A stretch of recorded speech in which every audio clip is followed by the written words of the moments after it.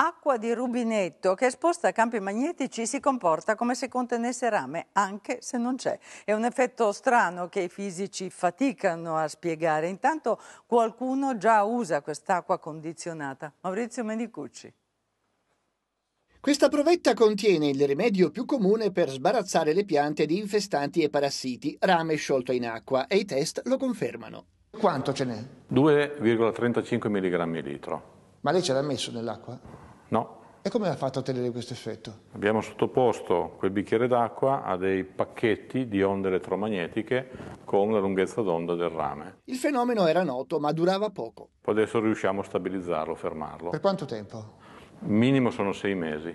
Ancora più sorprendente, se lo diluiamo, la concentrazione del rame non diminuisce. Uno dei migliori istituti al mondo, l'Arbuzov in fisica chimica, ha stabilito che fino a 350 litri si può diluire e l'acqua rimane tutta a 2,35. Quindi chiunque lo può verificare? Assolutamente sì. In campo l'acqua magnetizzata agisce come il rame ma senza inquinare i terreni col metallo. Corrado Giraudo, agricoltore di Busca, la usa da sei anni. Il prodotto cresce più rigoglioso e soprattutto patisce meglio i patogeni. I residui abbiamo già fatto delle analisi, zero, non, non c'è residuo. Le SR quando si fanno soprattutto i trattamenti chimici sono proprio tossiche e con questo sistema siamo proprio tranquilli.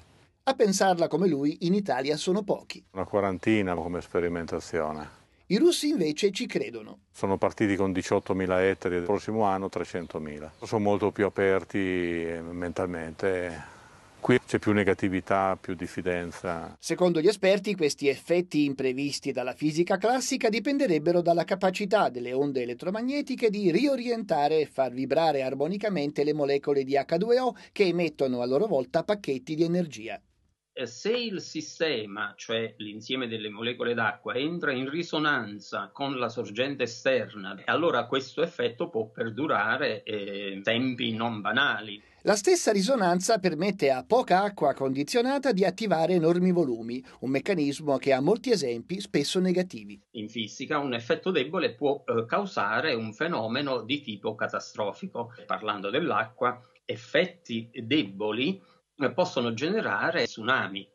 Gastaldi si prepara a estendere ad altri elementi le sue ricerche e rifiuta ogni collegamento a teorie contestate come la memoria dell'acqua. Abbiamo certificati universitari che asseverano che effettivamente l'effetto c'è.